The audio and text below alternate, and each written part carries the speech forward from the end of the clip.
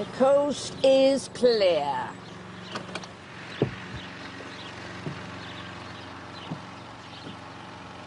Looks to me like you're doing Mrs. de Souza's dirty work.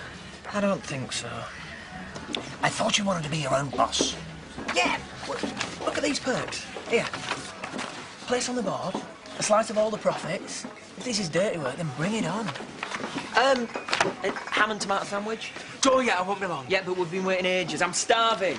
We've got customers gagging here, my love. Well, I'll have to wait. I am otherwise engaged. Get what? It's nice enough. But I don't understand why you were so desperate. I've got my reasons. You must have. You paid well over the odds for it, as well as that tin pot cleaning business. You're not going to tell me, are you? Whoever it is, get rid. Don't say I'm here. Hello, handsome. Uh, we saw the car outside. Nothing gets past you, does it? Is Mrs. de Souza about? No, just me. A problem about tomorrow's launch? No, no, not at all. Good, good. Who's your friend? Paul, Paul Lambert. Ah, yeah, it all makes sense now. How long have you two been together?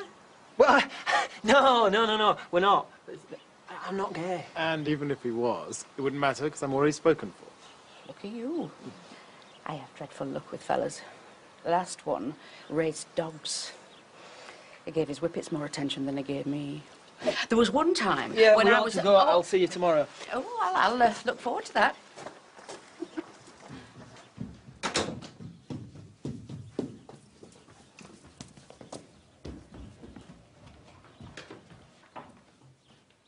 Tell you what, that David is a little cracker.